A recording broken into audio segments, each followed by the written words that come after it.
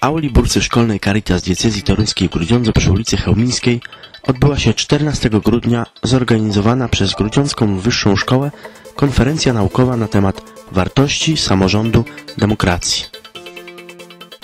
W konferencji udział wziął autorytet z dziedziny politologii profesor zwyczajny doktor habilitowany Andrzej Chodubski, polski politolog, profesor zwyczajny Uniwersytetu Gdańskiego, specjalista od metodologii badań politologicznych, członek Komitetu Nauk Politycznych Polskiej Akademii Nauk, a także laureat w 2001 roku nagrody imienia Ireny i Franciszka Skowyrów na Kulu. Referat wygłosił w trakcie spotkania również dr Sławomir Dębski, wykładowca Grudziąckiej Szkoły Wyższej. W spotkaniu udział wzięli samorządowcy i politycy grudziąccy, a także mieszkańcy, studenci i wykładowcy Grudziąckiej Wyższej Szkoły. Wartość samorząd demokracja to tytuł konferencji, która w dniu dzisiejszym się odbyła. Tak, tytuł konferencji e, jest, e, jest po prostu koncepcją wynikającą z samej treści tych trzech sformułowań. Wnikliwie badając poszczególne te słowa, dochodzimy do wniosku, że one wzajemnie jakby się współtworzyły. Czyli rozpoczyna życie w życiu społecznym w pierwszej fazie istnienia zdecydowaną rolę odgrywały wartości, które były tworzone, następnie chronione. Następnie tworzył się element instytucjonalny, czyli samorządność i ta samorządność stworzyła system lub wypracowała sobie system na bazie historycznych doświadczeń, który nazywamy współcześnie demokracją. Osią tych wszystkich słów i tych wszystkich poszczególnych elementów jest godność człowieka. Jest to niezaprzeczalny element, który niepodważalny i niepodlegający dyskusji. Tak?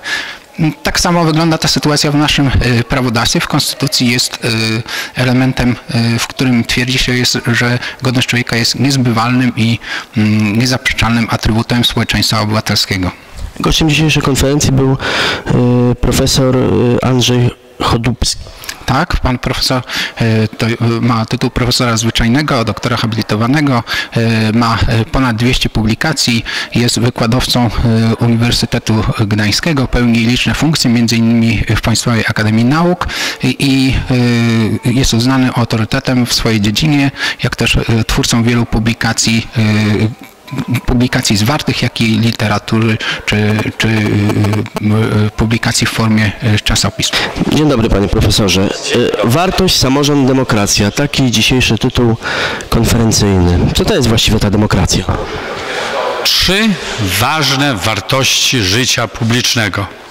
Wartość to cenność, samorządność to zorganizowania jednostki, a samorządność zorganizowanie grupy lokalnej.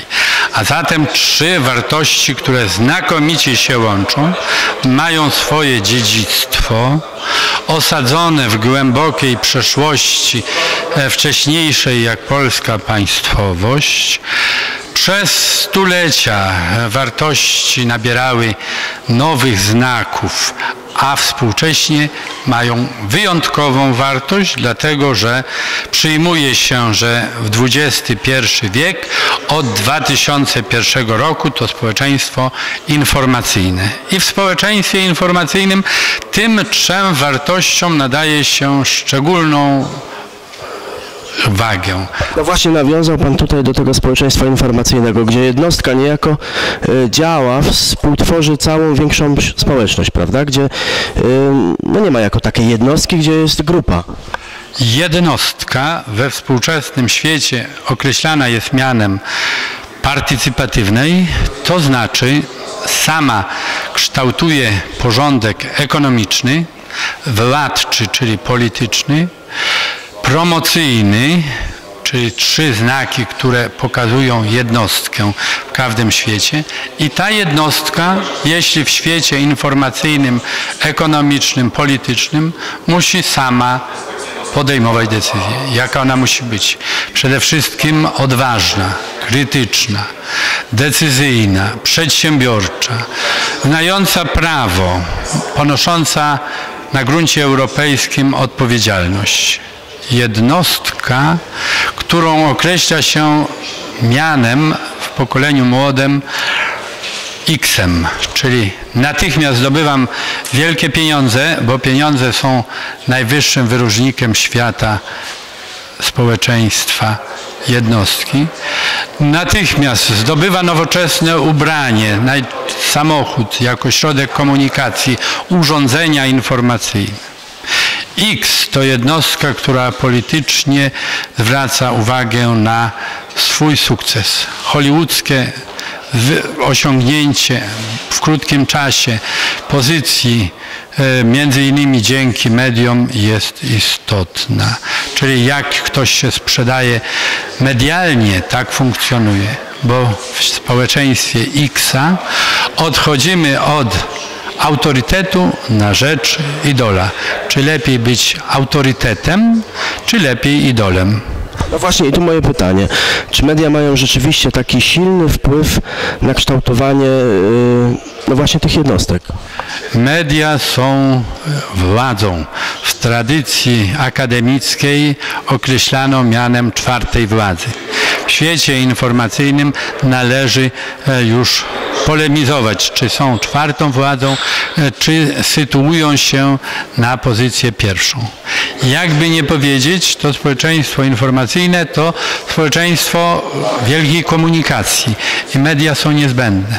Tym bardziej, że społeczeństwo jako całość jest społeczeństwem kultury obrazkowej. 80% pracuje e, obrazkami, wzrokiem, a zaledwie 10% społeczeństwa e, rozumie e, myśl intelektualną. A co z jakością tych mediów i przełożeniem się na postrzeganie świata przez te media? przez tą jednostkę? Jednostka i media, więc media jak i jednostka są z sobą powiązane i oczekuje się, że jedno, media będą na wyższym poziomie. Jednostka, która je urzeczywistnia, będzie posiadała wysoki poziom zorganizowania, znajomości prawa, będzie wykształcona, będzie wrażliwa na świat. Czyli mediu, media będą coraz ważniejszą rolę odgrywać. Może mniej media amatorskie, ale media wysoko profesjonalne. Ale czy takie jeszcze mamy w świecie, gdzie właściwie internet przeważa już w chwili obecnej nad mediami, przynajmniej wśród młodych ludzi, nad mediami tradycyjnymi? E, internet sytuuje się wśród e, środków komunikacji publicznej i jest to element składowy. Jeśli poszukujemy przykładów, to społeczeństwem najbardziej informatycznym, informacyjnym e, jest Nowa Zelandia. Przykład jej pokazuje, że tak, w naszym społeczeństwie no, jest siła e, tradycji, e, siła e, przyzwyczajenia do tradycyjnych wartości i to jest cząstko naszej tożsamości, cząstko naszej kultury, ale tożsamość ulega zmianom i dzisiaj na przykład mówi się nie tylko o jednej tożsamości, ale czasami mówi się o dwóch tożsamościach, a można mówić i o więcej, czyli identyfikacja. Skąd się wywodzę, kim jestem, dokąd zmierzam.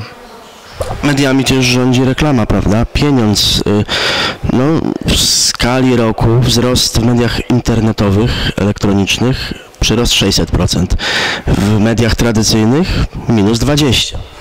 Prawdą jest, ale instytucją, e, która sytuuje się na pierwszym miejscu są e, pieniądze.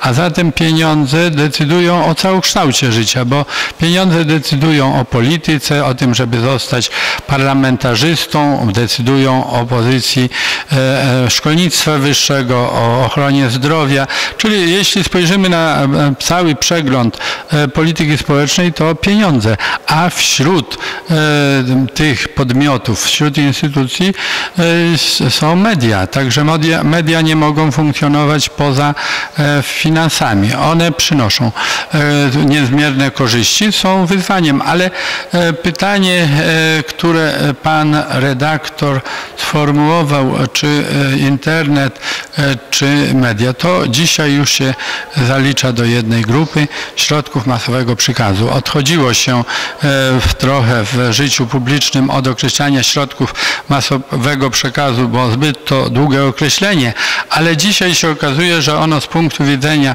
e, zakresu pojęciowego jest lepsze i oddzielanie radia, telewizji, e, prasy, internetu jest uzasadnione.